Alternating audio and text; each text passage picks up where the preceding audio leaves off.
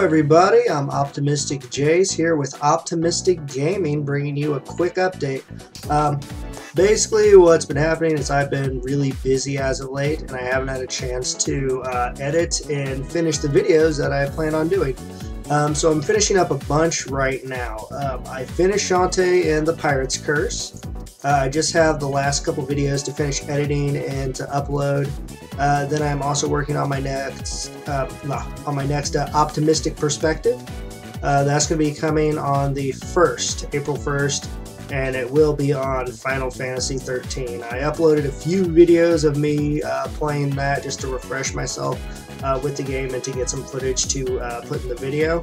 Um, I know it seems like I go a bit hard and negative on it. Um, I mean, there were a lot of aspects of it I didn't like, but it does have a lot of redeeming qualities that I think make it a good game overall.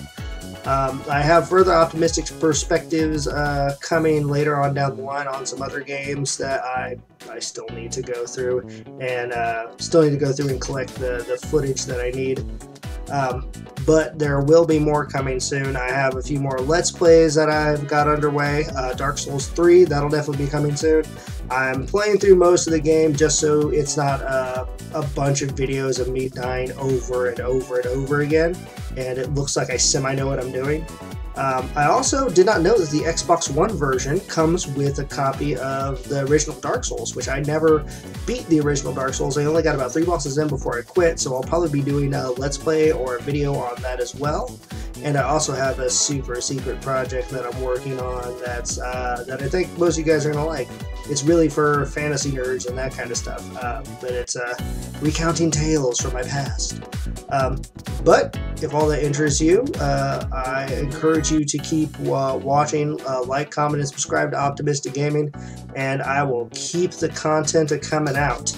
Um, and with that, I'm Optimistic Jace. Thank you for watching. Oh, wait, hold on. I forgot.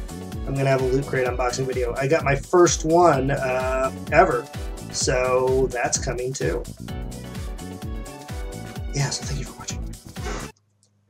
Okay, my first Loot Crate. Uh, April's theme this month is Quest. So let's go ahead and uh, let's go ahead and get ready to take a look in here. Um, now, the first step with any Loot Crate is to pop the tab and open her up.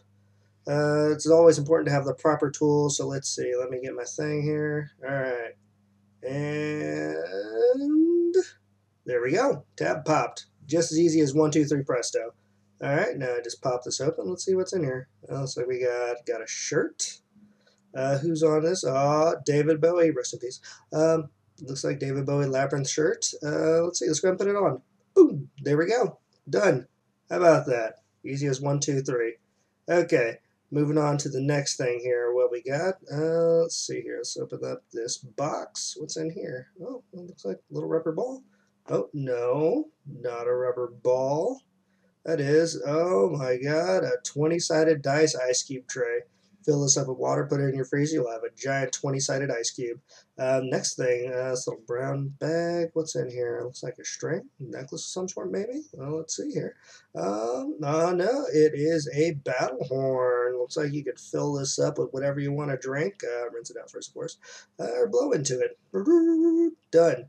Okay. Moving on to the next thing. Looks like we got us some socks. Oh, not just any socks, Harry Potter socks, showing off all the Horcruxes.